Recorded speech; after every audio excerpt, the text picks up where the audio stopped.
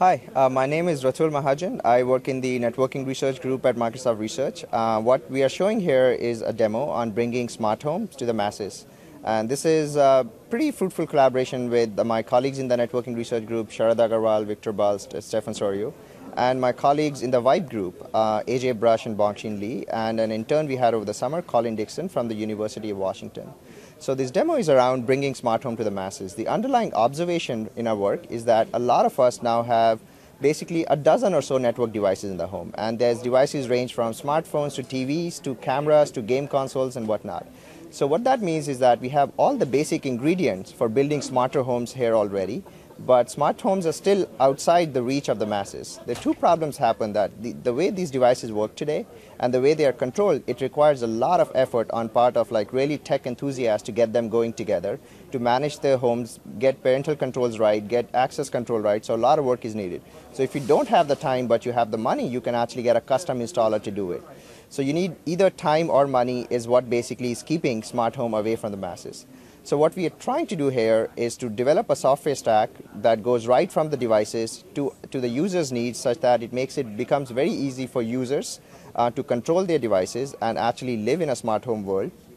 It becomes really easy for people, software developers, to write applications for the devices without worrying about what the nitty-gritties of how devices are connected and what functionality they offer. It becomes easy for device vendors to become part of the ecosystem. So the software stack we're building is cognizant of all this. Uh, what we are showing in the demo here is basically we have set up like a mock home and we've set up like a front front door area where you have mock doors uh, standing out. We have some cameras, we have some light light switches, we have some sensors here which are door and window sensors. So this uh, this area happens to be our kind of like a dining room area with a TV and some lights, and you see like a light switch here, which is commodity. And this is our living room area with another lamp and other light switches here. Uh, what you'll notice about these devices, they are effectively commodity devices. We haven't modified in any way. And what we are showing is like how easy using a software it becomes to actually control and manage these devices. So one of, one of the first applications I'm going to show you on, on, on my phone, essentially, what you're getting is here a live view of what's going on in the home. So we have three cameras. Each camera is actually different. One of them, two of them are IP cameras, different vendors, and one of them is actually a web camera, doesn't connect over the network. So what you're getting here is a live view of what's going on. So you can select what kind of view you want. So this is like a view from the back porch camera. There's nothing interesting going on here. You can zoom in if you like. So get a sense of when you're not at home, you can see monitor your home, monitor your kids, just monitor what's going on. So this is like, the thing is that not that you can do it, but thing is it's so easy to do that the application is completely unaware of the kinds of cameras being used. So pushing this envelope a little bit further, suppose you're not at home at work and your doorbell fires here, somebody rings your doorbell, either your doorbell fires or let's say somebody opens a door or a window in your house. So we have an application running here. What that application does, it monitors the fact that your doorbell just fired or your sensors just got activated. What it'll do, it'll take images uh, from all the cameras it has and it sends you alert. It can send you an alert over SMS or as in this case email. And what you see here is like two new emails and these are corresponding to the two events that are just fired. And what you get in this email essentially is a view from all the cameras. So you can actually test what just from your home whether somebody you know came home or whether it was a robber or a thief who came home. So this is like a live view from all the cameras. And as soon as they download, I'll show you one of the views. So take the living room view. So you see the living room's empty or who's not. So you basically get a sense of why these sensors actually fired at all.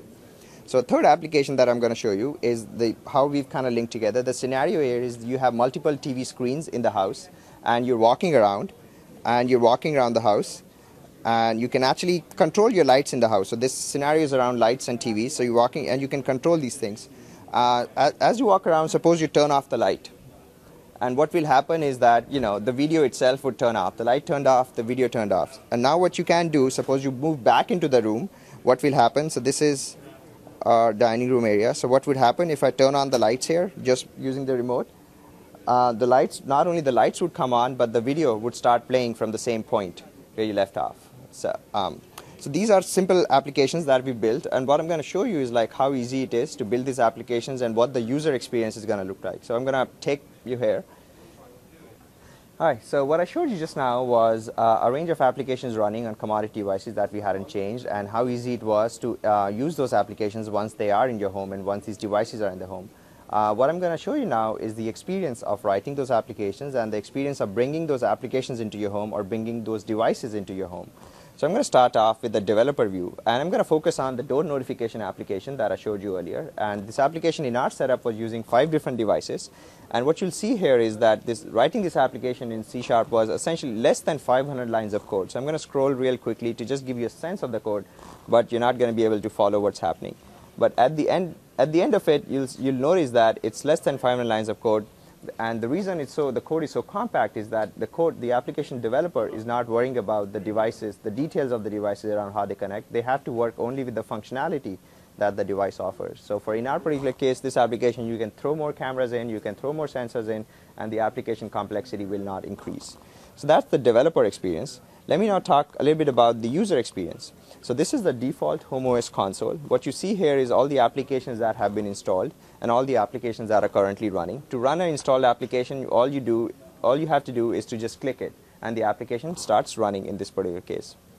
So in this case, this was the camera application I was showing and it's showing you a live view from the cameras in there. So I'm going to minimize these windows and to show you like how what it takes to bring a new application into your home and how much we've simplified the process and taken the guessworks out. So you do manage your home network, you do add new application. For each application that is part of the HomeOS um, ecosystem, what we show you is that, you, by the way, you can search through these applications and focus only on the ones you're interested in. For each application that is listed, we show you whether it's compatible with your home or not, or whether it needs additional devices. For applications that need additional devices, we show you what capability is missing in your home and how you can get those capabilities. So for instance, if you were really interested in this motion sensitive lights application, we tell you that this particular home is missing a motion detector, but you can get that capability by buying this PIR motion detector or this ultrasonic motion detector. And once you plug it in, I'll show you how to plug the devices in and things in there. But for the applications that are compatible with the home, what you can do is you can install it from right there. Uh, so I'm going to try and install the home browser application and while as part of the installation process you can also access control your application. So like whether whether or not kids can use the application uh, what devices this application can use and and whether you want to place restrictions around time like parental controls all these kind of get built into during the installation process uh, itself. And I'm going to change the name of the application to something friendly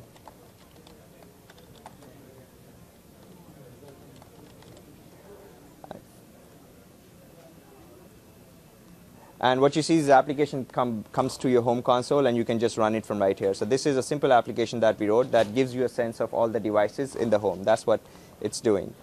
So that's, that's essentially the application installation. The work that went behind it was understanding what kinds of primitives and concepts people find useful. So for instance, like, you know, restriction by device and application is a concept that we introduced in HomeOS because people want the want to be able to control what applications can access what devices, and people want to be do, able to do parental controls and guest access rather easily.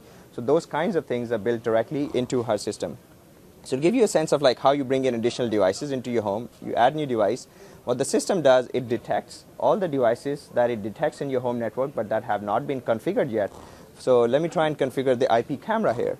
So press OK here and then you get to sense whether this is a high security device or not so accidentally do not give access to it you give it a name you tell it what applications in your home can use that device so you say camera app can use it but door notification app cannot use it you press ok and close now this device is ready to go that's it uh, once you plugged it in so that gives sense of like how do you bring in new applications into home and how do you bring in new devices. Um, suppose you wanted at a later point in time, you wanted to get a complete sense of like security settings or access control in the home because talking about the home environment, security and privacy are really important to people. So we make it easy for them to keep their home secure and get a sense of like what this settings is. What this particular view is showing in a tabular form is all the activities that are permitted in the home. Activities not listed on this particular view are not permitted.